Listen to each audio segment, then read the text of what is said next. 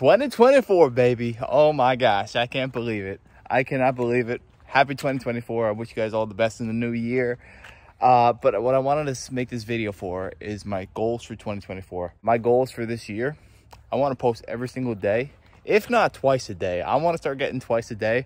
Although that's going to be tough. I don't know if I can do twice a day. But I'm definitely going to do once a day. And I don't like to have goals which I can't control.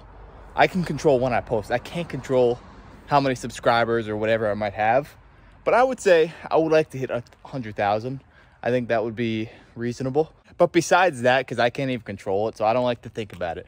I just want to post one video a day music and then maybe one video a day something else. That way, if you only want to watch music, you can watch music in the early part, and then later in the evening, I'll post another thing because I don't like to just stick to music. I like to be broad and do different things. Just throwing into a box like, oh, you can only do this.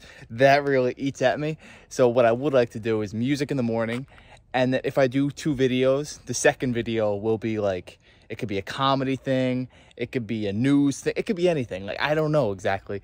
So that's what I would like to do. That is my goal for 2024. I just wish health and happiness to everybody because in an instant, everything could be taken away from you. Like, you can get a horrible diagnosis, but thankfully, I'm happy, I'm healthy, and so is everyone I love. So that's great. Yeah, I wish nothing but health and prosperity for you all in 2024. And till next time.